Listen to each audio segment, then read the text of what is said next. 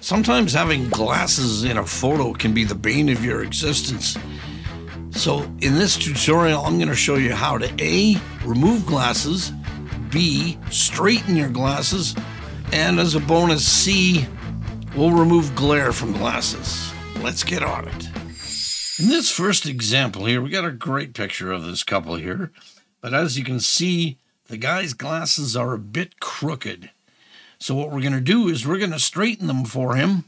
Plus, we'll show you what it's like if he didn't have any glasses at all. So now, the first thing you'll do is you'll kind of look over here in my layers. You'll see that I got a couple things going on here. Anytime I use a JPEG, I always use the neural filter, JPEG compression removal, just in case if there's any blocks or anything that need to be removed. So the first thing we're going to do, let's zoom in here is we're going to use the new selection brush tool. It's kind of a replacement for a quick mask, and I think it works really good. Let's get right in here. Make your brush a little bit larger.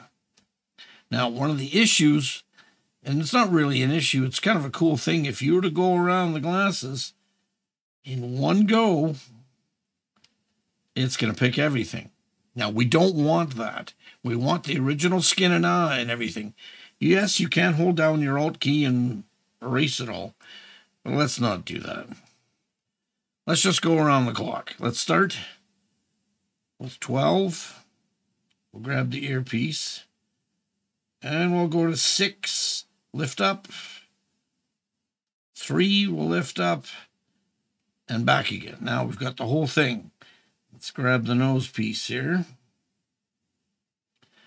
And again, 12, go around to 6, 3, we'll grab the other earpiece, and back to 12. Now, if you want to see what it's like, just click your selection here and go to the quick selection tool and you can see where everything is. If it's not exactly how you like it or if you're missing something, hit the selection brush again and let's just kind of fix it if you want we're missing a bit here and a bit here.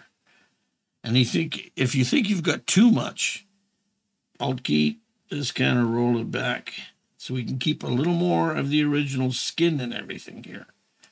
If you see what I mean, too much, remove it.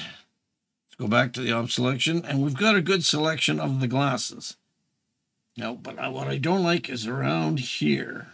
So again, go back, reduce your brush if you have to, and just add a bit. Remove what you don't want. Okay, this is great. I like this. So what we'll do is we'll hit Control J and throw the glasses onto a new layer. Click on that layer, on the glasses layer. Let's let's name that layer glasses. Let's control click into the box and bring back that as a selection. Let's choose the layer underneath. Now, if you got your contextual taskbar up top, hit the little thing here, and let's go to expand selection. I'm going to go about four pixels. Now we got a good space between the glasses and everything else. Grabbing a little bit of skin. Now in generative fill, let's type in remove, generate. Now it'll do its thing. And that first one isn't good, but the second one, it looks really good. Third one, let's change the prompt to remove glasses. Now we got another selection. Let's get rid of the other selections we don't want, the ones with the glasses. Now let's check to see what's the least amount of things moving between hair and his ears and his eyes, and possibly the shadows on his nose. We'll go through them. I'm digging this one here, number two. So let's remove the others to save space. What we've got here is a great pic of his glasses removed. Before, after. Now, if you do want the glasses in, if they insist on having the glasses in, which is cool, let's reactivate the glasses. Let's put a mask on it. Now, what we can do, Control T to transform. Turn it a bit around and we'll lift it up a bit. Up and over. Now his glasses are straightened before, after.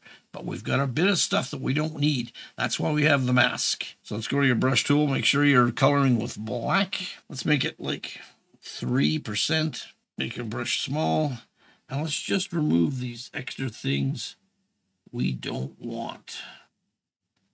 There and here. A little bit of the nose. All right. Now his glasses are straight. Before, after. He's looking good. Now in this second example here, we got a great picture of this couple out on the town. But the thing is, they've got glare in their glasses. A biggie for people wearing glasses and taking pictures. So what we'll do is we'll remove the glare from them. Zoom in a bit here.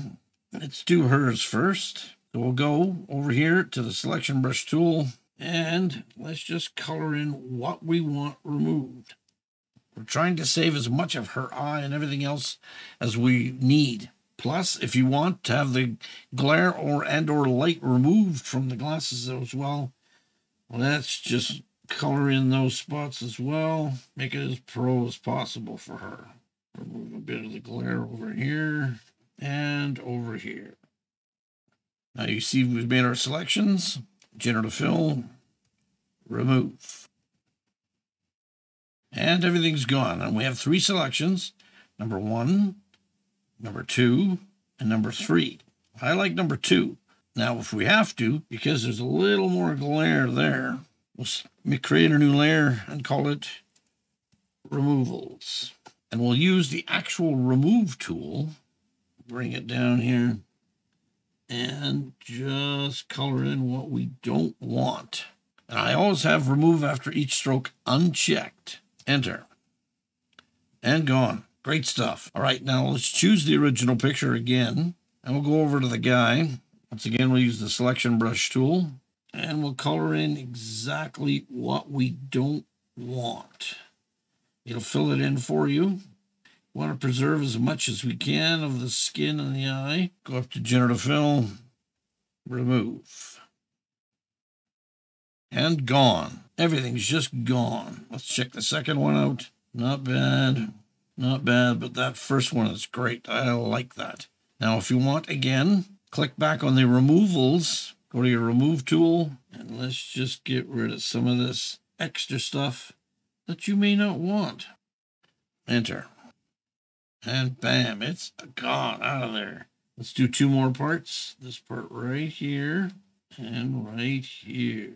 Enter. And I'm digging it. Let's zoom out. Very cool. Now what we'll do is we'll put everything in a group and we'll just call it repairs. Before, after, before, after. Now let's see. If you also want as a bonus, let's go to the removals again, zoom in, and let's say you wanted the shine remove. So let's use the remove tool again. Put a dot there, a little bit here, a little bit here, and a dot there. Zoom out, enter. And the shine is removed. This is great stuff with the remove tool these days. I'm digging it. Well, as you can see, you can easily remove glasses, straighten glasses, remove glare, remove glare from skin, all from using the selection brush tool, the remove tool, and generative fill. Photoshop is kicking butt these days. If you're getting anything out of my tutorials, please like and subscribe. That'd be great. I'm Don from Photo 911. See ya.